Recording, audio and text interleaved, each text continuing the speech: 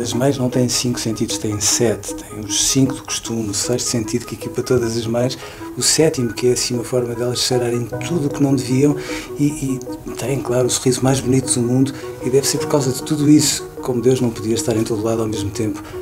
Criou a mãe. Querida Mãe é uma carta que serve para lembrar a todas as mães que não precisam de ser perfeitas, só precisam de ser mães.